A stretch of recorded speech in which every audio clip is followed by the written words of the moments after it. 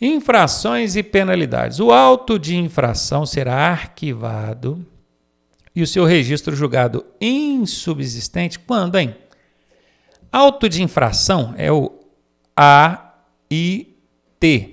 auto de infração de trânsito. Isso aqui, esse auto de infração, é aquilo que o, o, policial preenche ali no trânsito quando ele vê você fazendo a besteira. Às vezes ele faz isso num bloquinho e uma caneta, né? Às vezes ele faz com um, um, dispositivo eletrônico, tipo um tabletzinho que faz tudo eletrônico, já não tem mais a caneta, né? Pois é, mas aquilo que ele está preenchendo ali chama-se auto de infração de trânsito. Aquilo é multa? Não é multa, é um auto de infração de trânsito. Aquilo é enviado, depois que o, o policial preencheu aquilo ali, ele encaminha aquilo para a autoridade de trânsito, que é o diretor do órgão de trânsito ali, analisar essa autuação. O diretor vai receber isso lá, falar, ah, o agente de trânsito, o policial aqui, fez essa autuação para o fulano, coisa e tal. Se essa autuação for inconsistente, ou seja, não tem fundamento legal, o diretor do órgão de trânsito, a autoridade, vai arquivar aquilo.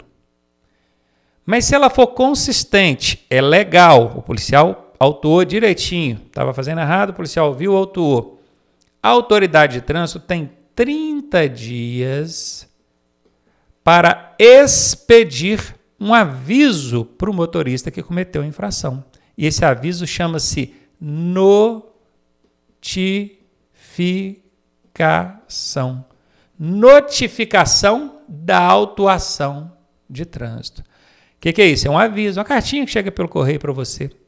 Se a autoridade de trânsito não expedir essa notificação dentro dos 30 dias, o auto tem que ser arquivado.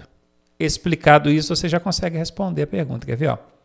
Então, o auto vai ser considerado subsistente assim que entender, ó, quando assim entender o agente de trânsito. Não, não é nem o agente de trânsito que analisa isso, é a autoridade, né? Quando o infrator for menor de 18 anos, não, nesse caso vai ser outra infração, né? Aliás, não é infração. Menor de 18 anos dirigindo vai ser responsabilizar o pai ou o proprietário do veículo. A autuação for irregular, ok. Ou a notificação não for expedida no prazo de 30 dias, ok. É exatamente as duas situações que eu falei. Ó. A autoridade vai analisar. Se for irregular, arquiva. Se for regular, mas não expedir a notificação em 30 dias, arquiva.